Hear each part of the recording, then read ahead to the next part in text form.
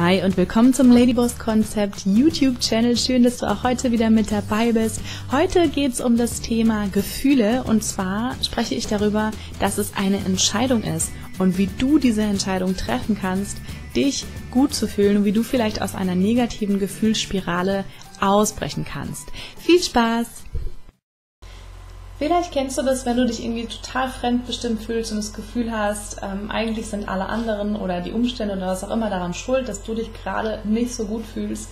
Ähm, vielleicht kannst du es dir schon vorstellen, wenn du mich und meine, vielleicht andere Videos oder so von mir kennst, ähm, dass ich nicht unbedingt überzeugt bin von dieser ähm, Schuldzuweisung Genau, man nennt es auch Opferrolle und ja, es ist eigentlich total normal, dass wir das Gefühl haben oder dass wir den Eindruck haben, unsere Gefühle werden von außen gesteuert, aber es stimmt nicht ganz und darüber möchte ich heute mit dir reden. Und zwar ist es so, dass dich gut zu fühlen oder überhaupt dich irgendwie zu fühlen, ist in Wirklichkeit deine Entscheidung. Jetzt sagst du wahrscheinlich sowas wie, nein, ich meine, welcher Mensch bei gesundem Verstand würde sich freiwillig schlecht fühlen wollen? Ich behaupte, wir alle. Ähm, beobachte das einfach mal bei dir. Ähm, vielleicht, wenn du dich erinnerst, als du mal Streit hattest mit deinem Partner. Du hattest Streit mit deinem Partner und du warst wütend, du warst enttäuscht, du warst traurig, was auch immer. Und dann bist du vielleicht da gelegen oder gesessen oder was auch immer. Und dann war dieses Gefühl da. In dem Moment wolltest du es fühlen. In dem Moment wolltest du genau dieses Gefühl haben, weil es hatte ja auch seine Gründe. Es hat ja auch seine Gründe, warum du gerade enttäuscht bist, warum du gerade wütend bist, warum du gerade traurig bist, ja. Klar gibt es diese Auslöser. So, und ähm, für mich war das erstmal ein harter, ja, hartes Brot, sage ich jetzt mal, ähm, das so mir bewusst zu machen. Und ich habe dann aber auch wirklich mal in mich reingehört und habe darauf geachtet und tatsächlich in diesem Moment fühlt es sich irgendwie auf seltsame Weise gut an, sich schlecht zu fühlen.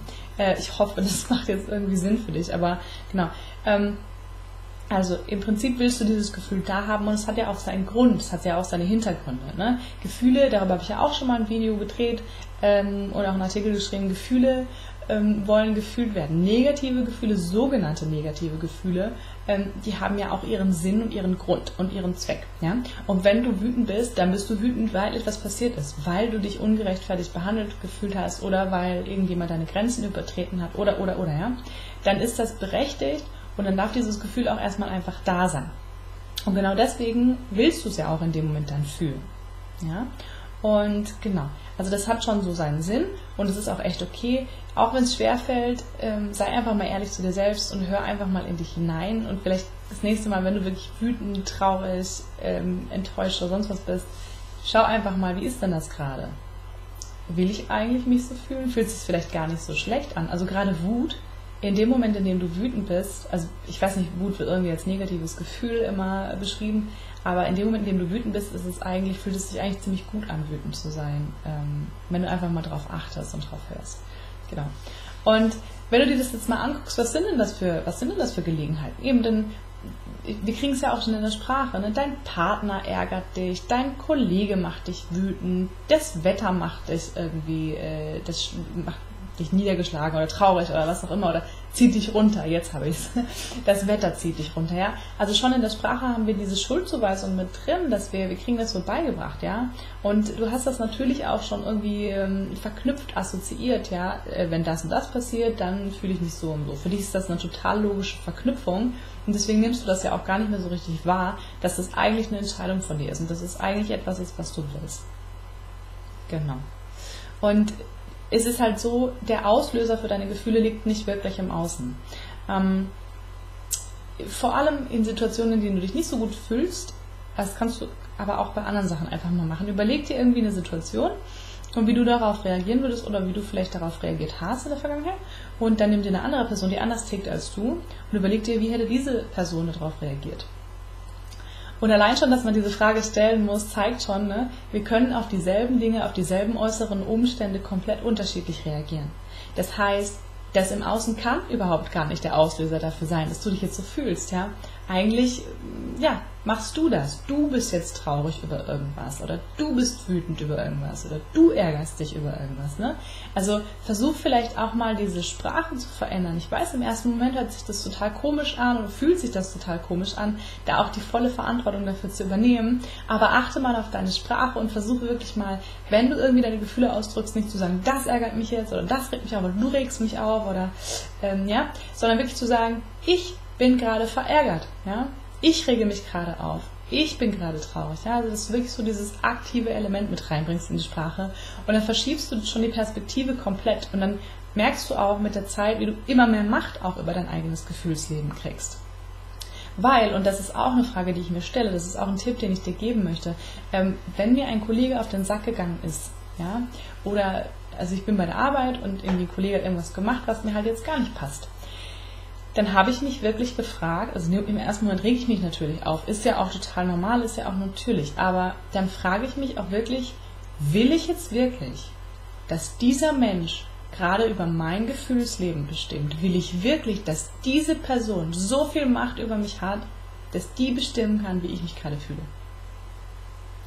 Und das ist echt eine Frage, die du dir stellen kannst und die ich mir immer wieder stelle und die mir immer wieder hilft und meistens wirklich Meistens kommt die Antwort ganz klar, nein, nein, das möchte ich nicht. Ich möchte dieser Person nicht so viel Macht über mich geben.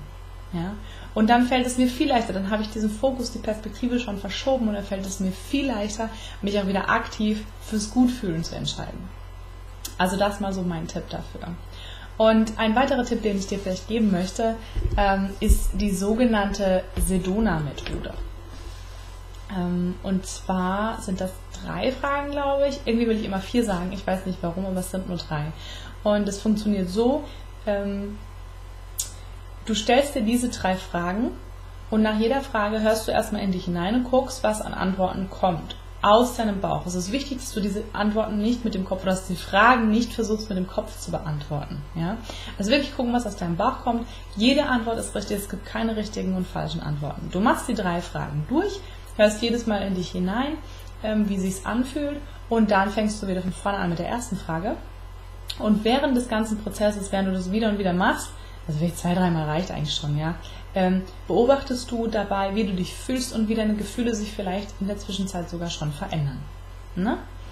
Okay, und die erste Frage ist, ähm, könnte ich dieses Gefühl loslassen? Ne? Also wirklich einfach gucken, was kommt aus deinem Bauch, könnte ich dieses Gefühl loslassen? Dann als zweite Frage, würde ich dieses Gefühl loslassen wollen? Ne? Und genau da passt das auch wunderbar zum Thema, weil diese Frage impliziert ja schon, dass du ähm, dieses Gefühl vielleicht doch behalten willst, dass du vielleicht doch daran festhalten willst, ja. Und ähm, tatsächlich, wenn du es beobachtest, wenn du es wirklich mal beobachtest, merkst du, dass du an diesen Gefühlen tatsächlich festhalten willst in dem Moment. Aus Gründen natürlich. Gut, aber äh, die dritte Frage, also auch hier, ne, gucken wirklich, was aus dem Bauch kommt. Würde ich es loslassen wollen, wenn du im, im Moment sagst, nö, würde ich jetzt gerade nicht wollen, gefühlt, dann ist das okay. Dann gehst du weiter zur nächsten Frage. Nächste Frage und die letzte Frage ist auch, wann würde ich es loslassen wollen? Und das ist auch eine wichtige Frage. Und da lässt, lässt du auch einfach mal gerade alles kommen, was kommt. Ne? Würdest du die nächste Stunde noch behalten wollen oder vielleicht erst in drei Tagen loslassen wollen? Oder fühle ich mich gerade so darin gefangen, dass ich, dass ich eigentlich mein Leben lang nie wieder loslassen will, diesen Gram oder was auch immer da gerade ist, ja? ja? Jede Antwort ist richtig. Guck einfach wirklich, was aus deinem Bauch kommt. Ne? Und der Vorteil ist, ähm, während du das machst, beobachtest du ja deine Gefühle. Und während du sie beobachtest, ähm, werden sie in der Regel schon schwächer, weil du machst genau das, was die Gefühle dann wollen in dem Moment oder was sie bezwecken. Du gibst ihnen Raum und du lässt sie da sein. Ja? Und das ist dieser Raum, den die brauchen, um verarbeitet zu werden. Und während du also dann beobachtest, werden die meisten schon schwächer. Und wenn du diese Fragen durchgehst, wirst du dir einfach darüber bewusst, dass du die Macht darüber hast, dass du, wenn du das Gefühl noch behalten möchtest, das ja auch seinen Sinn hat. Ne? Und ähm, dass du aber, wenn es keinen Sinn mehr hat für dich, dass du es dann auch loslassen kannst, ganz bewusst. Also es ist eigentlich eine super Methode. Kann ich dir nur ans Herz legen. Ich war anfangs ehrlich gesagt skeptisch und beim ersten Mal fühlt sich das noch ein bisschen komisch an. Ähm, aber das machst du zwei, dreimal und dann, dann geht das auch. Probier es für dich einfach mal aus, kann ich dir dazu raten. Genau, ähm, das war es eigentlich von mir dazu nochmal kurz zusammengefasst, wie du dich fühlst, ist eine Entscheidung. Dich gut zu fühlen ist auch eine Entscheidung. Also, ne, wenn du raus willst aus einer vielleicht gerade bestehenden Negativspirale, wenn du gerade das Gefühl hast, ähm, alles ist irgendwie nicht so gut, ähm, dann triff wirklich ganz bewusst die Entscheidung. Frag dich wirklich, wie will ich mich fühlen? Wie will ich mich fühlen? Wer will nein, wer soll Macht über meine Gefühle haben, ja. Ähm, auch das nochmal als Tipp wirklich, wenn du dich das nächste Mal schlecht fühlst wegen irgendjemandem oder etwas anderem, frag dich wirklich, will ich, dass diese Person oder dieser Gegenstand oder Umstand, was auch immer, so viel Macht über mich und meine Gefühle hat oder will ich es nicht? Und nutze die Sedona-Methode mit den drei Fragen. Könnte ich das Gefühl loslassen? Würde ich es loslassen wollen? Und wann würde ich es loslassen wollen? Genau.